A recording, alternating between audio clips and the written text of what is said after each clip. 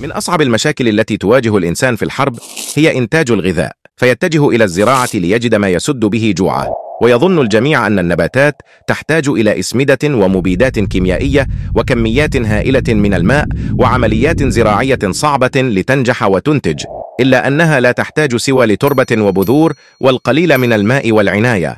استمعوا لنهاية الفيديو حتى تتعرفوا على كيفية الزراعة في ظل الحرب والحصار بأبسط الإمكانيات. واشتركوا بقناة ورقة ليصلكم كل ما يفيدكم في عالم الزراعة. بداية سنأخذكم بلمحة تاريخية إلى تاريخ الزراعة وقت الأزمات. في أوائل التسعينيات وبعد انهيار الاتحاد السوفيتي والحصار الأمريكي على كوبا واجهت كوبا منعطفا حادا في توفير الأمن الغذائي للمواطنين لعدم القدرة على استيراد الغذاء والمبيدات والأسمدة. فقام الفلاحون في كوبا بتأسيس الحركة البيئية التي قامت بتوجيه المزارعين نحو الزراعة البيئية التي تعتمد على الموارد المتجددة والحفاظ على عناصر البيئة. وتسبب هذا الحراك بنهوض كوبا وتحويلها من دولة ضعيفة مستوردة للغذاء إلى دولة ذات سيادة على الغذاء. الآن ما هي الزراعة البيئية؟ وما هي خطوات إنشاء مزرعة بيئية؟ الزراعة البيئية نظام شامل لإدارة الموارد الطبيعية الزراعية والإنتاج الزراعي ويحافظ على سلامة النظام البيئي الزراعي بما في ذلك التنوع البيولوجي.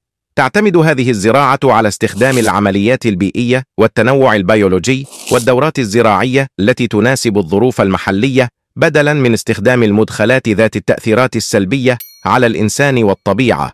تعد الزراعة البيئية أحد ركائز السيادة الغذائية، وخاصة في سياق التحرر الفلسطيني الساعي إلى الانفكاك عن التبعية للاحتلال، كما أنها توفر الحماية للنظام البيئي الطبيعي الفلسطيني.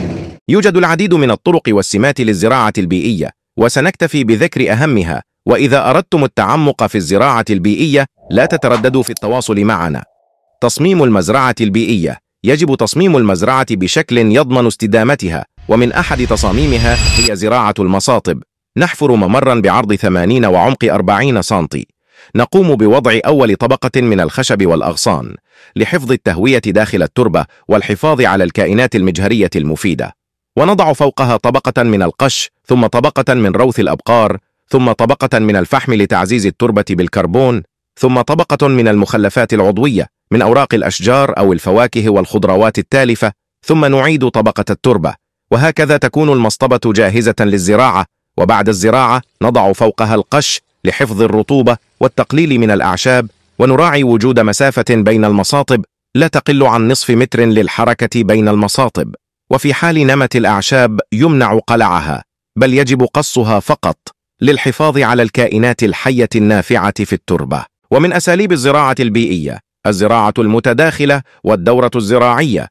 الزراعة المتداخلة هي تقنية تتضمن زراعة مجموعة من المحاصيل المختلفة في نفس المساحة الزراعية بحيث يتم استغلال خصائص بعض النباتات أو علاقة بعض النباتات ببعضها التي ينتج عنها تفاعل إيجابي يزيد صحة النظام البيئي ويحقق فوائد متبادلة بين النباتات وتزرع المحاصيل المختلفة بالقرب من بعضها البعض بشكل تكاملي وبدون أي منافسة فيما بينها. كما وتعتبر إحدى وسائل المكافحة الحيوية حيث تقلل من انتشار الأمراض والحشرات من خلال زراعة النباتات المختلفة والمتنوعة بشكل متداخل كما أنها تساهم في عملية التلقيح من خلال توفير المصادر الجاذبة للحشرات النافعة والمفيدة وبالتالي زيادة إنتاجية المحاصيل. ستجدون جدولا لأنواع النباتات التي يمكن زراعتها بالتداخل في الوصف. الدورة الزراعية هي نظام تتعاقب وتتناوب بموجبه المحاصيل المزروعة في مساحة محددة من الأرض وخلال فترة زمنية محددة.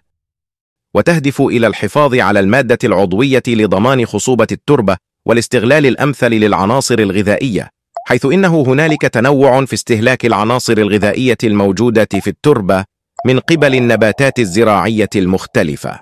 وإن زراعة البقوليات في الدورة الزراعية يزيد من مخزون عنصر النيتروجين المتاح في التربة للمحاصيل التي سيتم زراعتها لاحقاً. لنأخذ مثالا يوضح كيفية عمل الدورة الزراعية على أرض مساحتها أربعة دنم. نقسم الأرض إلى أربع أقسام. ثم نقوم في العام الأول بزراعة كل قسم من الأقسام الأربعة بصنف مختلف عن الآخر كما يلي. القسم الأول نزرعه خضار مثمرة. القسم الثاني بقوليات. والقسم الثالث ورقيات. والقسم الرابع خضروات جذرية. وفي العام الثاني نقوم بتبديل أماكن زراعة الأصناف بحيث نزرع القسم الأول خضروات جذرية والقسم الثاني خضروات مثمرة. وتستمر المداورة لأربع سنوات.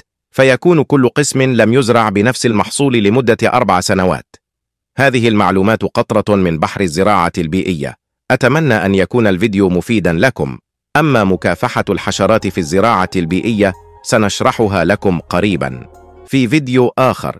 لا تنسوا ضغط زر الإعجاب والاشتراك.